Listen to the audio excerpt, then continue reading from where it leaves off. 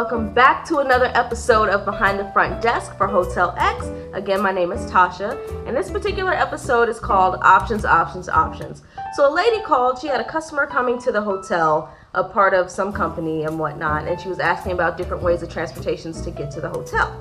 So, of course, I let her know there's more than enough options to get to our hotel, and we're 45 minutes outside of the city. So, of course, we don't have a shuttle that's gonna come and pick you up from the airport.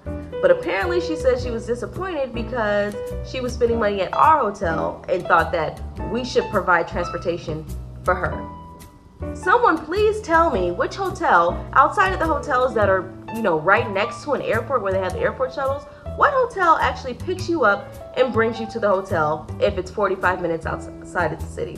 Somebody let me know that. But apparently, I don't know if she was using at different hotels to get business, to get her people picked up. I'm not sure, but that is not how hotels operate. So if you do that, please stop.